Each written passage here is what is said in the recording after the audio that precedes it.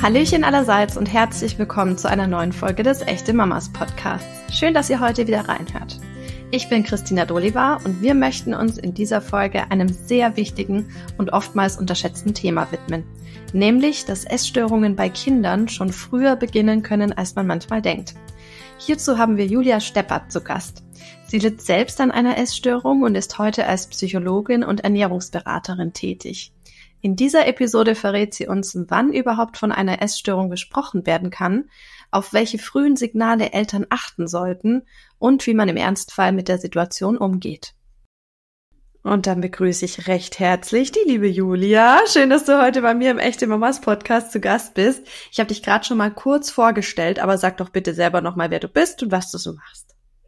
Ja, gerne. Erstmal danke für die Einladung, dass ich hier sein darf. Ich bin Julia, ich bin klinische Psychologin und Ernährungsberaterin und habe vor, ja, ich glaube, es ist jetzt vier, fünf Jahre her, ähm, begonnen auf Seelenmut auf Instagram über Essstörungen erstmalig so ein bisschen aufzuklären, zu entstigmatisieren, ähm, auch über meine persönliche Geschichte zu berichten. Und jetzt ist da ja was irgendwie ein sehr großes Projekt draus geworden und hat sich auch noch ein bisschen mit dem Thema Trauma und Nervensystem verzweigt und darf das jetzt so ein bisschen als meine Mission, aber auch als meine tägliche Arbeit sehen, was mir ähm, ja einfach wahnsinnig viel Spaß macht. Du hast es gerade schon mal kurz angeteased, aber da wollen wir natürlich ein bisschen äh, mehr ins Detail gehen. Es kommt aus deiner persönlichen Geschichte heraus. Bist du, also darfst gerne gleich noch äh, genauer erzählen, aber bist du dann auch durch deine persönliche Erfahrung zu deinem tatsächlichen Beruf jetzt auch gekommen oder wie hat sich das alles entwickelt? Hol gerne mal aus. Ja, auch da muss ich äh, sehr weit ausholen. Also genau, ich war ähm, selbst betroffen von Magersucht sieben Jahre lang tatsächlich. Es hat mich sehr lange begleitet, hat so mit 16 angefangen, so ein typisches Alter tatsächlich auch und war damals auch so ein bisschen ähm, mit diesem Sprung Mittelreife, Oberstufe, Abitur. Und damals wusste ich tatsächlich noch gar nicht so genau, was ich machen wollte und hatte dann erstmal tatsächlich im Bereich der Physiotherapie angefangen und dort ähm, auch fünf Semester studiert und ähm, war so ein bisschen mit der Medizin auch erstmal ein bisschen verbunden, weil so meine Eltern auch in dieser Richtung tätig sind und habe dann aber gemerkt, irgendwie möchte ich da noch mal tiefer. Irgendwie möchten die Leute auch viel mehr über ihre Probleme sprechen und habe gemerkt, ich möchte da irgendwie noch mal ja ein bisschen tiefer schauen und natürlich auch durch meine eigene persönliche Heilungsreise, die auch stattgefunden hat, habe ich mich dann noch mal getraut, dieses Studium abzubrechen und komplett neu anzufangen und bin dann ähm, den Weg über ähm, ja zur klinischen Psychologin sozusagen gegangen und habe währenddessen das sozusagen aufgebaut oder es war aus mir so dieser Wunsch, ich, ich will was nach draußen geben und irgendwie, vielleicht geht's auch anderen so, dass so klassische Sachen in der Therapie nicht helfen oder es irgendwie doch mal auch jemanden geben muss, der sich auch so fühlt wie ich. Und dann habe ich da auf Instagram gestartet, damals noch mit nur Affirmationen und gar nicht mich persönlich sozusagen mit einbezogen.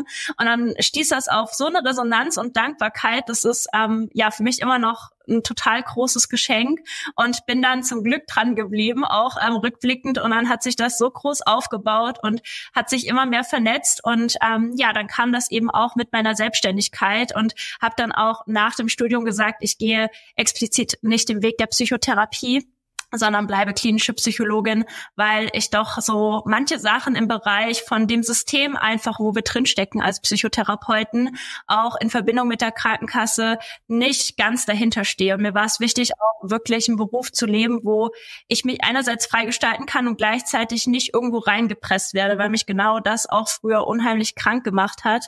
Und dementsprechend habe ich dann ähm, ja so ein bisschen da mich auch gewagt und habe mich da getraut, das zu machen. Und jetzt ist es ähm, ja einfach unheimlich unheimlich schön und eine ganz, ganz tolle Arbeit und ähm, ja, scheint auch sehr vielen zu helfen, ähm, so was ich an Resonanz bekomme.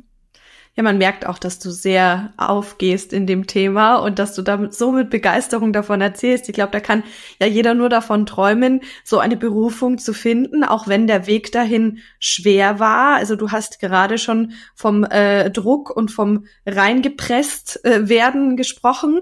Ähm, magst du vielleicht mal ganz kurz erzählen, wie bei dir das mit der Essstörung vonstatten gegangen ist, wie mhm. du da gelandet bist? Ja, ähm, ich würde sagen, heute, heute sind mir so andere ähm, Aspekte auch bekannt. Ich muss sagen, damals dachte ich so, na ja, so ein bisschen halt durch, durch den Druck in der Schule, Leistungsdruck war auf jeden Fall ein Thema. Und es war tatsächlich bei mir gar nicht diese klassische Form, ich habe eine Diät gemacht und dann bin ich da so ein bisschen reingerutscht, sondern ich hatte dieses Thema als Referat in der Schule und ich habe mich damals unheimlich sehr nach etwas gesehen, wo ich endlich mal eine Kontrolle habe, wo ich endlich mal so das Gefühl habe, das ist meins, weil ich sehr viel in der Kindheit erlebt habe, eher es wird über mich hinweggegangen, es wird über mich bestimmt. Und das war dann so ein großer Punkt, auch so ein Glaubenssatz, den ich sehr getragen habe, war, ich bin nicht gut genug, ich muss immer was leisten, um zu sein. Und das war irgendwie für mich so, da war irgendwie so eine gewisse Begeisterung da, auch wenn das sehr komisch klingt, als diese Krankheiten vorgestellt worden sind. Und ich habe mich dann ganz, ganz viel so damit beschäftigt, habe Bücher gelesen und dachte, naja, eigentlich ist das ja so ein bisschen auch simpel. Ich mache so ein bisschen Diät oder ich lasse mal so Sachen weg. Und ich habe mich damals auch schon sehr, schon unwohl gefühlt in meinem Körper. Ich war nie total übergewichtig, aber irgendwo war es auch immer so dieses, naja, es könnte ja auch noch besser sein. Oder es gibt ja auch andere Mädchen damals, die, ja, die hatten einfach die Sachen, die ich gerne gehabt hätte. Und so habe ich dann so immer mal wieder dann angefangen, Dinge wegzulassen, Süßigkeiten. Und das ist ja auch alles nicht so gut. Und wurde damals auch schon im Elternhaus geprägt. Wie geht gesunde Ernährung? Was ist wichtig für den Körper? Und es war direkt so, dass ich so das Gefühl hatte, boah, ich kann da mal was so richtig gut. Also es ist nicht schwer, Süßigkeiten wegzulassen. Es fiel mir zwar schwer, aber ich hatte dann immer wieder diese Bestätigung auf der Waage, so es wird weniger und ich kann endlich mal was. Es hat mich unheimlich erfüllt, also auch wenn es sehr vielleicht auch ein Stück weit krank klingt. Für mich war das irgendwie so dieses, ich habe endlich mal Kontrolle. Ich habe da irgendwie auch so eine Welt, weil es schon eine Welt ist. Man lebt wie mit einer zweiten Stimme im Kopf, die mir einfach unheimlich viel in dieser Zeit gegeben hat, wo es mir eigentlich schon sehr schlecht ging. Und dann hat sich das leider auch sehr so ein bisschen verselbstständigt, einfach weil dieses Gefühl dann auch und die, die Verknüpfungen wie hier, die stattfinden, auch bei Sucht, ähm, so schnell gehen und manchmal auch leider unbewusst sind, dass man erst so das Gefühl hat, oh, ich bin krank oder ich bräuchte doch Hilfe, wo man eigentlich schon gar nicht mehr richtig steuern kann, wo es auch ein bisschen leider zu spät war. Und dann bin ich da sehr schnell auch reingerutscht, auch durch noch mehr so Internetseiten, die das propagiert haben und wo ich dann immer mehr irgendwie haben wollte von, von dieser dieser Krankheit und gleichzeitig war es ein mega gutes Schutzschild oder eine Strategie einfach, um zu Hause zu überleben, sage ich mal, um da einfach mit zurechtzukommen, diesem Leistungsdruck standzuhalten und habe mir da halt so ein bisschen meine eigene Welt aufgebaut. So ist das so ein bisschen entstanden, mal ganz kurz auf den Punkt gebracht. Ähm, jetzt hast du ja schon gesagt, du hast es dir ja auch auf Instagram zur Mission gemacht und natürlich auch mit deiner äh, täglichen Arbeit, da ähm, anderen zu helfen, die auch betroffen sind. Jetzt hast du aber auch ein Buch geschrieben. Und das heißt, ähm, warum Kinder nicht richtig essen. Und ich habe, als ich den Titel gelesen habe, muss ich ehrlich geschehen, habe ich mir gedacht, Kinder essen doch nie richtig. Also ich muss jetzt mal von, von äh, meiner Erfahrung sprechen. Meine Tochter ist jetzt ein bisschen über zweieinhalb und äh, unsere Beikostentwicklung äh, war echt äh, schwierig, äh, beziehungsweise sie wollte ganz, ganz lange, hat sie überhaupt nichts vom Essen wissen wollen und äh, dann so nach und nach. Ähm, gestern hatte ich erst Entwicklungsgespräch in der Kita und wurde dafür gelobt, wie toll mein Kind ist und dass es alles ist und dass es alles probiert und äh, echt richtig super. Da habe ich mich voll gefreut. Aber ich kenne es halt auch aus meinem Umfeld. Also ich habe fünf Nichten und da gibt's immer eine, die irgendwie gerade einen Spinner hat und nicht richtig ist. Ne? Also ähm, da, da kann man, glaube ich, schwierig differenzieren, beziehungsweise würde mich da auch äh, aus deiner Sicht mal interessieren. Ähm, wann ist ein Kind denn nicht richtig, beziehungsweise wann lohnt es sich denn mal genauer hinzuschauen? Weil eine Nichte von mir zum Beispiel, die isst fast nur Nudeln und Dino-Nuggets und ich glaube, es gibt viele Kinder, die tatsächlich eine sehr lange Zeit ähm, sich sehr einseitig ernähren, um es mal so zu sagen. Ähm, deswegen, äh, wo sollten denn so ein bisschen die, die Alarmglocken vielleicht bei den Eltern angehen? Ja, ja, der Titel ist, ähm, das ist immer so interessant, hat eine interessante Resonanz tatsächlich auch. Deswegen gibt es zum Glück ja diesen kleinen Untersatz, so die wahren Ursachen von Essstörungen. Also natürlich ist, ähm, kann man nicht sagen, ne, nur weil ein Kind jetzt sehr einseitig ist, ist es jetzt irgendwie nicht richtig. Das ist so ein schwieriges Wort, was bedeutet richtiges Essen. Ich würde sagen, in unserer heutigen Gesellschaft ist ja Essen auch so ein, oh, so ein großes Thema. Ne? Gerade auch so im Bereich irgendwie von äh, Mutter, Kind dann auch. Was darf das Kind auch? So dieses Thema Verträglichkeiten. Ähm, irgendwie kommt auch jeden Tag gefühlt so ein bisschen was Neues raus, was gerade gut ist, habe ich den Eindruck. Oh, hör auf, wir, ja. Leben, ja. also ich habe das Gefühl, wenn man heute jetzt nicht mit dem Cholesterin-Tracker am Arm rumläuft, dann ist man schon gar nicht mehr normal. Ja, oder Gluten verträgt. Also es ist ähm, unheimlich ähm, schwer heutzutage, weil so viel propagiert wird und einfach auch sehr viel, ähm, ja, da so industriell dahinter steht, sage ich einfach mal. Ne? So wenn man in den Supermarkt schaut, auch so dieses Proteinthema.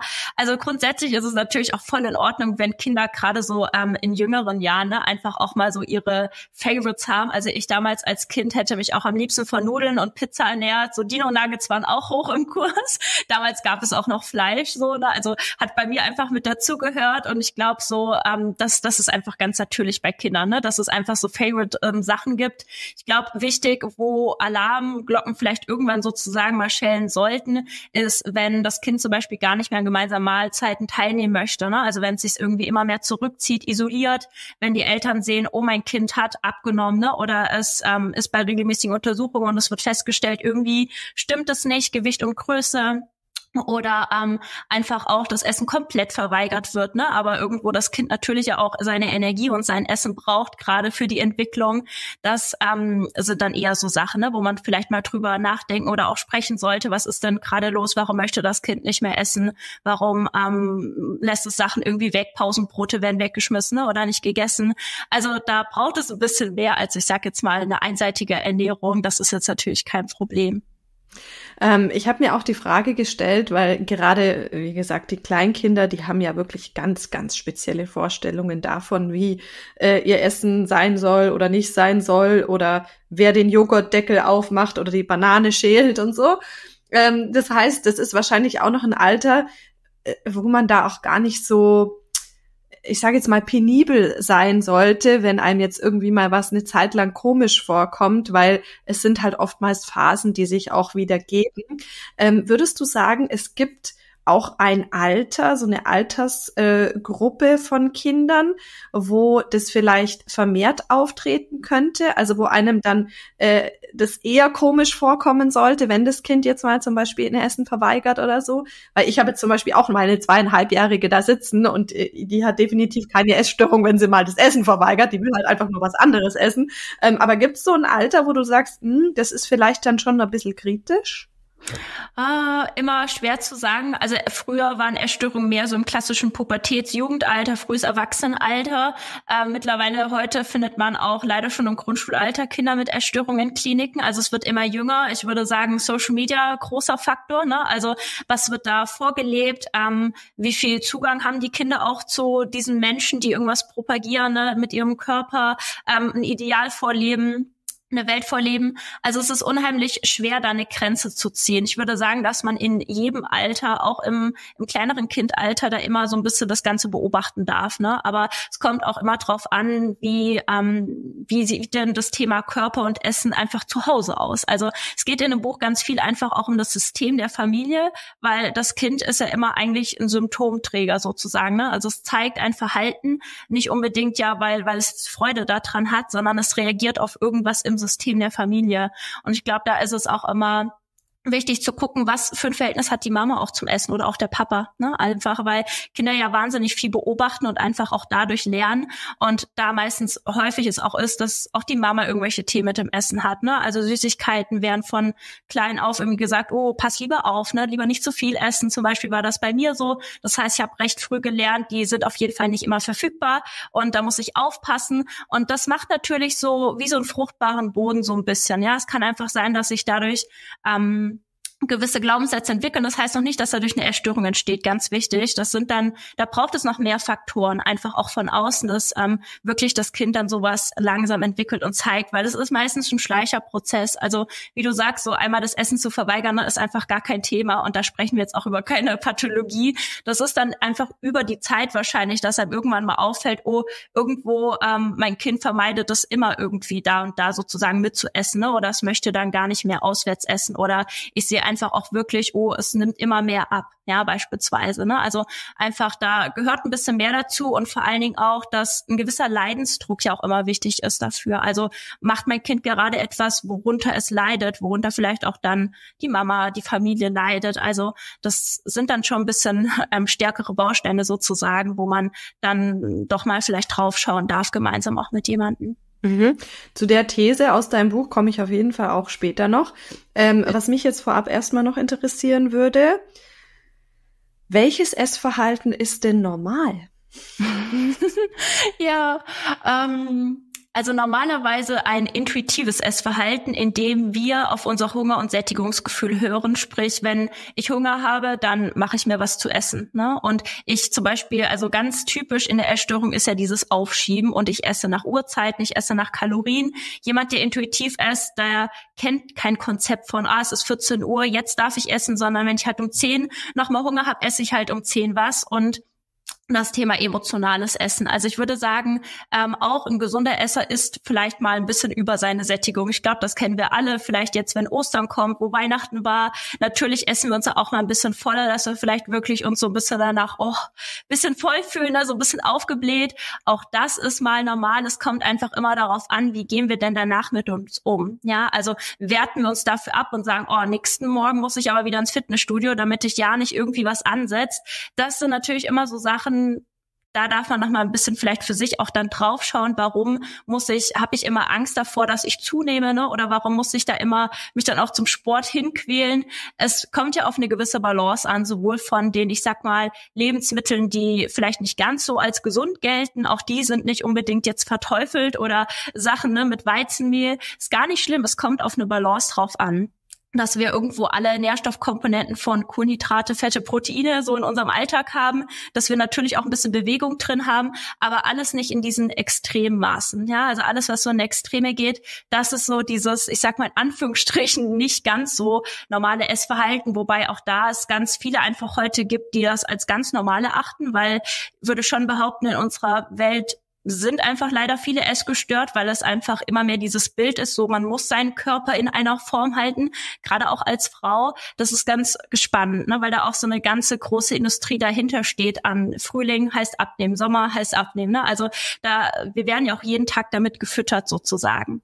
Aber am besten Fall sind wir in Freundschaft mit unserem Körper, ne? dass wir auf unsere Signale hören, auch Müdigkeit, unser Körper uns auch vertrauen kann, dass wir immer Energie zur Verfügung bekommen, weil unser Körper Körper immer noch nach dem Steinzeitprogramm denkt. Und da ist einfach jedes Verbot an Nahrungsmitteln, auch jede Restriktion ist so ein Notzustand, ja, auf das irgendwo Spannung und Angst folgt, was langfristig sich dann leider nicht so gut entwickelt. Ja, man muss ja ehrlicherweise auch sagen, Kinder haben ja von Natur aus diese Intuition, wann brauche ich Essen und wann brauche ich es eben nicht. Und ich muss ehrlich gestehen, ich habe mich am Anfang total gestresst, als es hieß, ja, das Kind soll fünf Mahlzeiten am Tag maximal zu sich nehmen und zwischendurch Pause und was weiß ich was. Und mein Kind hat halt einfach öfter Hunger. Also nur mal als Beispiel, mein Kind steht auf und braucht direkt nach dem Aufstehen was zu essen. Was aber völlig normal ist, weil sich ja über die Nacht die Blutzuckerspeicher äh, äh, irgendwie auflösen und dann ja, braucht man halt wieder Nachschub. Dann braucht mein Kind aber meistens auch noch, weil sie ein relativer Frühaufsteher ist, noch mal was vor der Kita. Kommt sie dann einfach und sagt, ich habe Hunger, ich möchte noch mal was essen. Ja, wer bin ich denn, dass ich meinem Kind dann nichts zu essen gebe? Natürlich kriegt es dann noch mal was zu essen. In der Kita gibt's dann eben eine Brotdose, dann gibt's Mittagessen und wenn ich sie aus der Kita hole, gibt's auch wieder einen Snack, weil da hat sie auch schon wieder Hunger. Nach dem Mittagsschlaf hat die auch immer Hunger. Ähm, über den Nachmittag möchte sie dann noch mal was und dann gibt's Abendessen. Das heißt, mein Kind isst halt siebenmal am Tag und nicht fünfmal. Und am Anfang habe ich gedacht, so, nein, das stimmt ja nicht und was weiß ich was. Aber auf der anderen Seite, ähm, es hat irgendwie nicht mit mir resoniert, zu sagen, ich verwehre meinem Kind eine Mahlzeit oder ich schaue, dass es bei der einen Mahlzeit deutlich mehr ist, obwohl es eigentlich gar nichts mehr will, weil das ist ja genau der Punkt. So trainiert man den Kindern ja ab, dass die ihr Sättigungsgefühl verstehen, dass die ihr Hungergefühl verstehen. Also möchte ich das ja lieber fördern, ne? Und ich habe zum Beispiel auch noch nie irgendwie Süßigkeiten verboten oder so. Ja, also mein Kind ist sowieso ähm, hat, glaube ich, ein ganz gesundes Verhältnis dazu, weil die isst auch gar nicht so viel Süßigkeiten. Also wenn die ihre ein, zwei äh, Stück Schokolade isst, dann ist das für die fein. Und dann sage ich auch nie, ja, das müssen wir jetzt irgendwie restriktiv betrachten, weil scheinbar hat sie ja ihre ihr Bedürfnis gestillt und äh, das ist wieder okay. Ich habe aber neulich, als äh, Freunde bei uns zu Besuch waren und das fand ich jetzt wiederum auch auf äh, diese Restriktionen spannend, habe ich wirklich miterlebt, wie zu dem kleinen Jungen, der ungefähr im Alter von meiner Tochter ist, gesagt wurde, jetzt ist aber mal gut. Gell? Also das war jetzt, das ist, das war jetzt genug. Jetzt hast, hast so viele, äh, ich glaube so Einhorn-Puffs gegessen, ne? Jetzt ist mal wieder gut, ne? Und äh, ich hatte halt für die Kinder auch noch Donuts besorgt, weil ich gedacht habe, die freuen sich dann. Ähm, meine hat natürlich den halben Donut weggeatmet. Ähm, der Kleine hat ihn nicht mal angerührt. Äh, ich glaube, also die Eltern haben es auch nicht mehr aktiv angeboten. Ne? Ich habe dann zu denen gesagt, ja, da kann er gerne auch noch den Donut haben, den habe ich für die Kinder mit nee, nee, der hatte jetzt schon genug. Und ich glaube tatsächlich schon, dass so eine Einstellung, äh, wie du sagst, früher oder später schon eventuell in Anführungszeichen einen Schaden hinterlassen kann. Ne? Ich will jetzt natürlich unseren Freunden da nichts irgendwie unterstellen, äh, dass die das immer so machen oder was weiß ich was. Aber mich würde halt zum Beispiel auch interessieren, kann ich denn jetzt als jemand Außenstehender, dem sowas auffällt, kann ich in so einer Situation vielleicht auch mal ähm, das Gespräch mit den Eltern suchen oder einfach mal nachfragen, hey, ähm, warum handhabt ihr das denn so? Weil das wäre ja, käme ja dem Kind auch zugute oder bin ich dadurch dann übergriffig? Oh ja, das ist immer so, ich glaube, ein schwieriges Thema, ne? so andere in ihrer Erziehung zu beraten. Zumindest kann ich ähm, mir vorstellen, dass das so, also jeder Elternteil hat natürlich so seine eigenen Richtlinien und Prinzipien, eben wie du sagst, also es ist natürlich, es formt etwas, womit wir aufwachsen. Und ähm, ich so in meiner Zeit, und ich kenne das auch von anderen, die so ein bisschen sehr gesund geprägt worden sind, ähm, sobald die Schule losgeht und man bekommt Taschengeld, ne, ist das dann einfach so dieses Ding, was man sich halt heimlich holt. Und es spricht ja auch überhaupt nichts gegen Süßigkeiten, ne? Oder wenn du sagst, da sind mal ähm, Freunde eingeladen, da gibt's halt mal ein bisschen mehr wie auf einem Geburtstag, ja. Also auch wir Erwachsene würden ja dann nicht sagen, oh, jetzt esse ich aber nur zwei Sachen und dann ähm, ne, lasse ich das sozusagen, wenn daneben vielleicht noch eine lukrative Torte steht. Also es ist vollkommen in Ordnung. Ich glaube da, ähm, dass du einfach persönlich für dich reinfühlen, ob ähm, wie nah dir auch diese Freunde stehen und wie du sie einschätzt, ob sie dafür offen wären. Ja, also ich glaube, man darf immer so ein bisschen da ins Gespräch bestimmt gehen und auch so ein bisschen fragen, warum macht ihr das denn so? Und dann kann man meistens auch an der Reaktion relativ schnell ablesen. Ne? Kommt er jetzt so was total, ich weiß nicht, vielleicht so ein bisschen auch Pumpiges rüber, ne? Oder man fühlt sich irgendwie vielleicht auch angegriffen, dann würde ich so ein bisschen, also das ist immer was Persönliches. Ich glaube, man kann nie zu wenig oder zu viel drüber sprechen, sozusagen. Gleichzeitig ist es natürlich jedem irgendwie sozusagen auch das Seine, weil das natürlich eine eigene Erziehung ist. Aber beratend, wenn du das Gefühl hast, auch ähm, die wären dafür offen, kann man es probieren. Ob sie es dann umsetzen, ist wahrscheinlich wieder was ganz anderes. Du stimmst mir aber zu, dass eben solche Aussagen schon den Grundstein legen können für etwas, was später zum Problem werden könnte, oder? Es ist so ein bisschen genau, es formt vielleicht einfach beim Kind so dieses Thema, naja, ich muss halt aufpassen und ähm, ich kann mir jetzt Süßigkeiten nicht sozusagen ganz frei zu Hause einteilen. Also wird das Kind sich das wahrscheinlich einfach ein bisschen heimlich holen. Das heißt noch nicht, dass es ein Problem ist. Ja, da braucht es dann einfach noch andere äußere Faktoren. Ne? Irgendwie, das Kind fühlt sich jetzt einfach so generell nicht gesehen, vielleicht zu Hause oder hat so das Gefühl, irgendwie wird ganz viel über mich bestimmt. Dann kann Essen irgendwann zum Ventil werden. Aber so an sich allein ist es jetzt kein Baustein da später eine Erstörung entsteht. Das ist ganz wichtig. Ne? Aber es ist halt, Erstörungen entstehen nicht aus einem Ereignis oder sozusagen einem Glaubenssatz, sondern es ist ein fruchtbarer Boden da und dann braucht es äußere Kontextfaktoren, die sozusagen diesen Boden bewässern und dann entwickelt sich das meistens leider langsam schleichend. Mhm. Und wann sprechen wir denn dann tatsächlich von einer Essstörung im mhm. Kindes- und Jugendalter? Ähm, es gibt natürlich so diese Diagnosekriterien. Ja, in der Psychologie füllt man Fragebögen aus. Das Kind wird gewogen, das Kind wird vermessen sozusagen. Ne? Das wird alles dann beim Hausarzt gemacht oder vielleicht auch beim, beim Psychiater.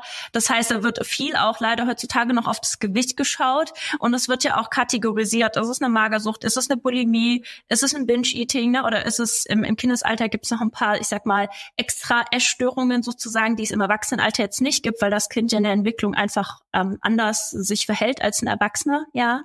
Ähm, da wird ganz, ganz viel einfach danach geguckt, wie agiert das Kind im Alltag mit Essen. Ne? Also ähm, hat es einen Leidensdruck oder sagt es, da habe ich Angst davor oder das, äh, das möchte ich nicht essen, da habe ich irgendwie auch Ekelgefühle vielleicht.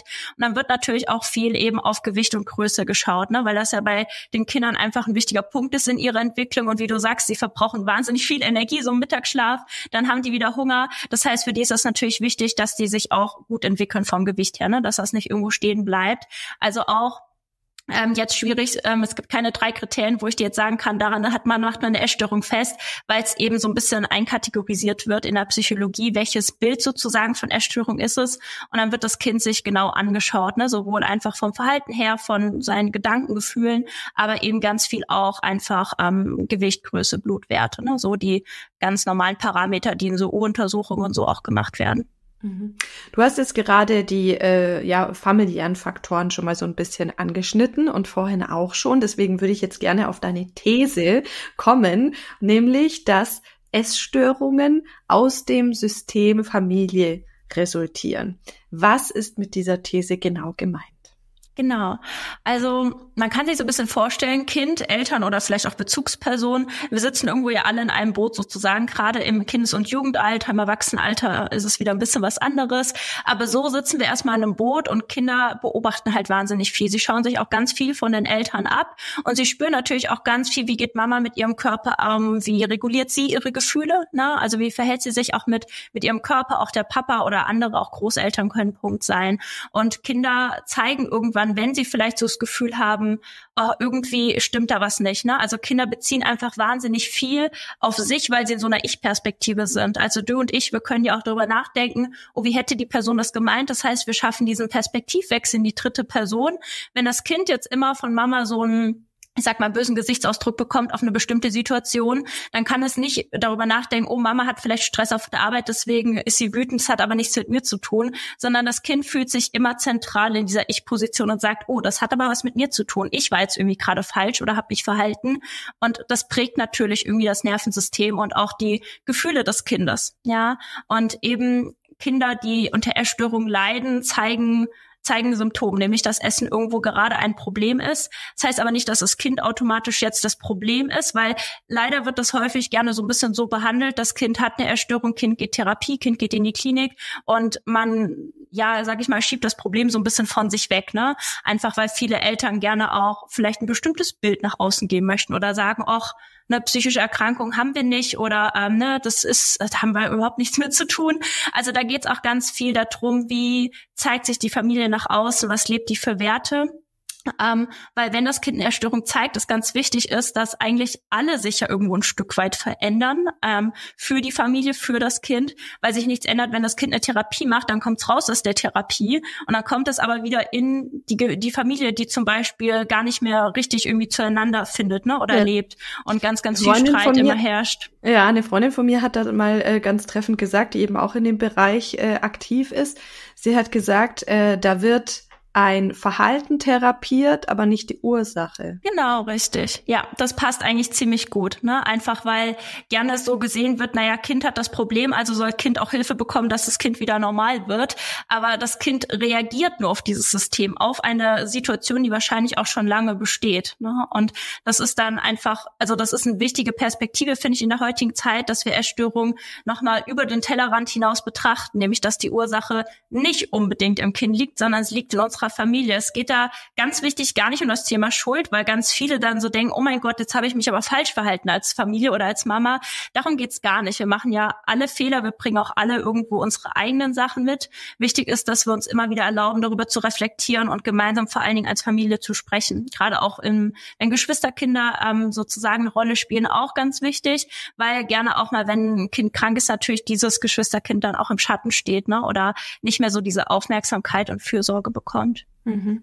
Aber würdest du denn dann sagen, ähm, wenn wir uns jetzt eben dieses Familiensystem angucken und äh, dass das alles rund läuft, dass die Entstehung von so einer Essstörung dann grundsätzlich vermeidbar wäre, wenn alles, alle Rahmenbedingungen passen?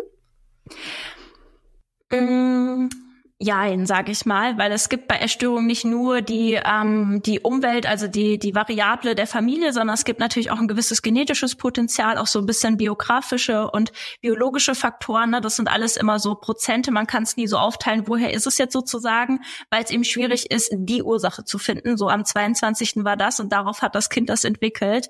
Ähm, ne? Also wenn wir Essstörungen der Familie haben sozusagen, vielleicht die Schwester oder man hatte selbst eine, bietet das schon ein gewisses Potenzial, was ja auch auch weitergegeben wird. Ja, also generell gehen wir auch an das Kind so ein bisschen etwas weiter, wie wir uns während der Schwangerschaft verhalten. Wollten wir das Kind? Wie war die Geburt? Ne? Also solche Sachen sozusagen. Ähm, aber man kann schon ganz vieles vermeiden, wenn man als Familie offen ist und aufeinander immer wieder zugeht. Mhm. Ja. Ähm, das war jetzt auf jeden Fall auch schon mal ein sehr, sehr guter äh, Tipp. Aber mich würde interessieren, gibt es denn noch, sage ich jetzt mal, einfach umsetzbare Stellschrauben, die man denn so direkt drehen kann? Mm, mm.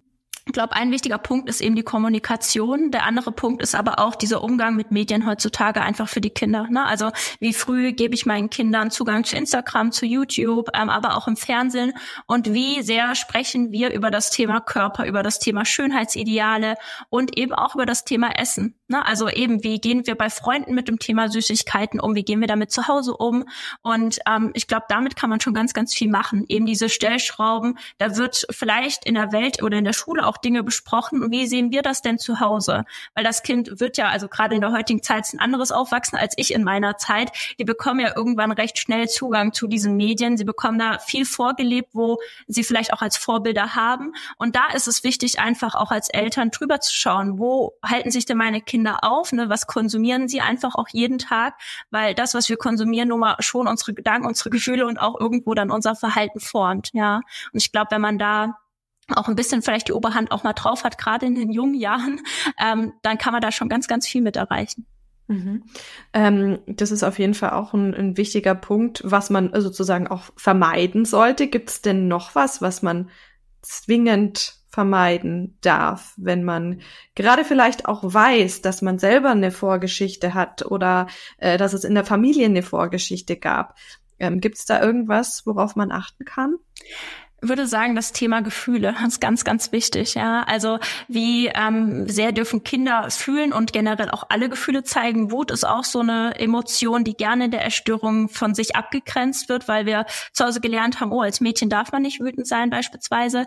Also wenn man eine Vorgeschichte hat oder weiß, in der Familie gibt es Sachen bei Oma, Opa, wo auch immer, ähm, auch da mal zu gucken, wie bin ich denn mit meinen Gefühlen in Kontakt? Ne? Also wie sehr erlaube ich mir auch mal wütend zu sein, nicht nur die perfekte Mama zu sein, und Selbstregulation mit dem Kind zu üben. Das ist, glaube ich, so ein ganz, ganz wichtiger Punkt. Das sehe ich auch bei vielen meiner Frauen, die ich begleite mit Kindern, die auch irgendwie Verhaltensauffälligkeiten zeigen. Na, also wie gehen wir mit Emotionen um? Lernt das Kind Emotionen zu fühlen, aber auch zu regulieren. Ja, und wie gehen wir Eltern damit um? Weil es bringt nichts dem Kind zu sagen, mach das und das und ich als Elternteil komme nach Hause am Abend ne, und esse dann erstmal meine, meine große Tüte Süßigkeiten und Chips, weil das brauche ich jetzt, um mich sozusagen zu füllen und zu befriedigen. Auch wenn das Kind das nicht mitkriegt, ist das was Wichtiges, ne? Also dass wir auch als Elternteil gucken, schau, wie reguliere ich meine Gefühle? Und ich glaube, so Emotionsarbeit ist da ein ganz wichtiger Punkt, kann man auch von Anfang an in ganz frühen Jahren machen, weil man bei sich selbst natürlich auch schauen muss. Ne? Es geht nicht nur darum, dieses Kind jetzt da möglichst äh, perfekt, sage ich mal in Anführungsstrichen, rauszubringen aus der Kindheit, sondern eben auch ich als als ähm, als Mensch sozusagen, auch als Elternteil und wir als Familie. Ja, wir haben, glaube ich, jetzt auch eine Generation, die ja sehr darum bemüht ist, äh, bedürfnisorientiert zu handeln und auch eben dieses starre Muster vom äh, über den Kopf hinweg entscheiden vom Kind und äh, ja, das Kind in feste Formen pressen zu wollen. Da sind wir, glaube ich, hoffe ich, hui, toi, toi, toi, drüber hinweg. Äh, also die meisten. Aber ähm, du hast jetzt ja ganz viele Sachen uns mitgegeben, was jetzt gerade auch Eltern und ihre Kinder angeht. Ähm, ist dein Buch explizit für Eltern gedacht oder auch für andere? Ja, ähm, also der Titel kann da eben ein bisschen in die Irre führen. Es ist tatsächlich jetzt kein reiner Kinder-Elternratgeber sozusagen, sondern in diesem Buch habe ich versucht, deswegen ist es sehr komplex. Ähm, es sind alle Essstörungen drin, sowohl ähm, Magersucht, Bulimie als auch Binge-Eating, also die drei häufigsten. Und es geht sowohl um Betroffene jeden Alters, also ne, natürlich sobald das Kind sozusagen lesen kann. Ähm, es geht um Angehörige wie Eltern, es geht aber auch um vielleicht die Partner, die Partnerin. Also es ist wirklich für jeden Alter. Es sind ganz viele Übungen drin, explizit für Angehörige wie Eltern, explizit für Betroffene wie Kinder. Es geht auch um das Geschwisterkind. Und es sind auch ganz viele ähm, Fallbeispiele aus meiner Praxis drin. Also wie sehen zum Beispiel Wege aus der Erstörung heraus aus, weil ich eben ein bisschen schon anders arbeite als vielleicht in der klassischen Therapie, wo man manual abarbeitet. Deswegen gibt es eben auch ganz viele so Fallbeispiele, praktische Sachen. Also es ist ähm, alles sozusagen mit drin. Alles, wofür ich stehe, alles, was ich erarbeitet habe, ist in diesem Buch komprimiert sozusagen drin. Das klingt ganz fantastisch. Und wir haben in dieser Folge auch komprimiert einiges von deinem Fachwissen jetzt abgreifen dürfen. Vielen, vielen Dank dafür. Wir sind leider schon am Ende angekommen.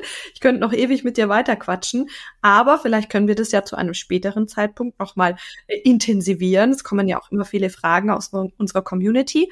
Mich würde jetzt noch interessieren, hast du zum Abschluss etwas, was du gerne an unsere echte Mamas Community loswerden möchtest? Um, ähm, ah, gute Frage. So ganz spontan aus dem Hut gezogen ähm, lasst euch nicht in die Irre führen.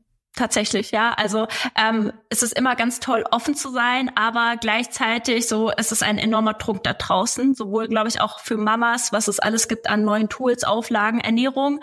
Also hört ein bisschen mehr auf eure Intuition, vielleicht auch, ne? Schaut bei den Kindern, wie intuitiv die eigentlich essen und übernimmt das, anstatt so ganz viel zu gucken, was muss, müssen wir machen. Ja, also ich glaube, das ist so ein ganz wichtiger Punkt. Und wie die Kinder auch intuitiv wissen, was sie essen sollten genau. oder brauchen. Also meine Tochter hat heute Spaghetti Bolognese gefrühstückt. Wäre jetzt auch nicht meine erste Wahl, aber scheinbar hat sie da Lust drauf gehabt. Vielen, vielen Dank, liebe Julia. Es war total schön, Gerne. mit dir zu quatschen. Und wie gesagt, ich hoffe, wir dürfen auf dich als Expertin mal wieder zurückgreifen. Gerne. Dann wünsche ich dir jetzt noch einen wunderschönen Tag. Danke, dir auch. Mach's gut. Tschüss. Tschüss.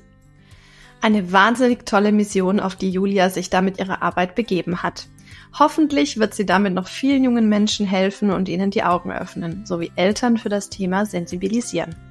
Wir gestalten unseren Podcast mit euch gemeinsam und wenn ihr euch bestimmte Themen wünscht oder ihr Fragen habt, dann schickt uns unbedingt eine Sprachnachricht per WhatsApp an 0176 465 42263 oder meldet euch per Mail an podcast.echtemamas.de.